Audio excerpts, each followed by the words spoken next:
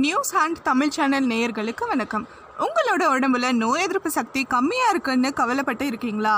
நோய் எதிர்ப்பு சக்தி நம்ம உடம்புல அதிகமாக இருந்ததுன்னா நம்மள எந்த விதமான தொற்று நோயும் அண்டாதுன்னு சொல்லலாம்.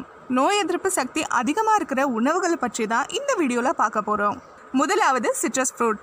சிட்ரஸ் ஃப்ரூட்டில் வைட்டமின் சி அதிக அளவில் இருக்குது வைட்டமின் சி எலுமிச்சையிலையும் ஆரஞ்சு பழத்துலையும் அதிகமாக நிறைஞ்சிருக்கு. இதை எப்படி சாப்பிட்றதுன்னு யோசிக்கிறீங்களா? ஆரஞ்சு திராட்சை போன்ற பழங்களை சாலட் செஞ்சு சாப்பிடலாம். தினமும் எலுமிச்சை ஜூஸ் குடிக்கிறது ரொம்பவே நல்லது.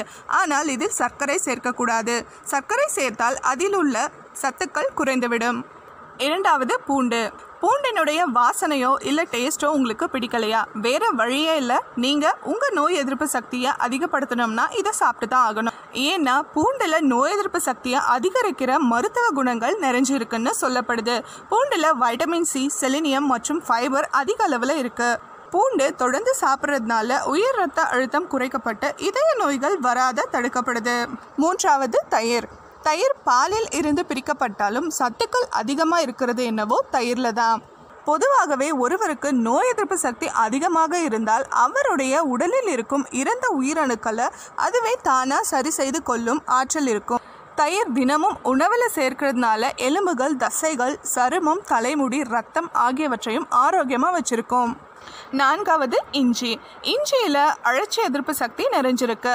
இஞ்சியை சளி காய்ச்சல் இரும்பல் போன்ற வியாதிகளுக்கு உபயோகப்படுத்துகிறாங்க தலை சுற்றல் வாந்தி மயக்கம் போன்றவற்றிற்கும் உபயோகப்படுத்தப்படுது. இஞ்சியை டீ பழச்சாறு அல்லது தேனுடன் கலந்து சாப்பிடலாம். இது உடல் எடையை குறைக்கவும் பயன்படுத்தப்படுது. ஐந்தாவது மஞ்சள். மஞ்சள் இந்தியர்கள் அதிலும் குறிப்பாக தமிழர்கள் அதிகம் பயன்படுத்துகிறாங்க இதில் குக்கமின் என்னும் வேதிப்பொருள் அடங்கியிருக்கு. இது ஒரு anti inflammatory anti bacterial anti viral anti ஃபங்கலாக செயல்படுது.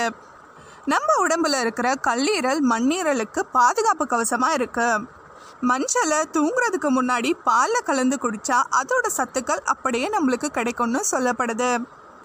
இப்போ சொல்லுங்க நீங்க உங்க உடம்புல நோய் எதிர்ப்பு ஆற்றலை கவனமா பாத்துக்கிறீங்களா மேலே சொன்ன ஏதாவது ஒரு குறிப்பை முயற்சி பண்ணியிருக்கீங்களா? கமெண்ட் செக்ஷன்ல கமெண்ட் பண்ணுங்க. அதுக்கு முன்னாடி நம்ம சேனலை சப்ஸ்கிரைப் பண்ணுங்க.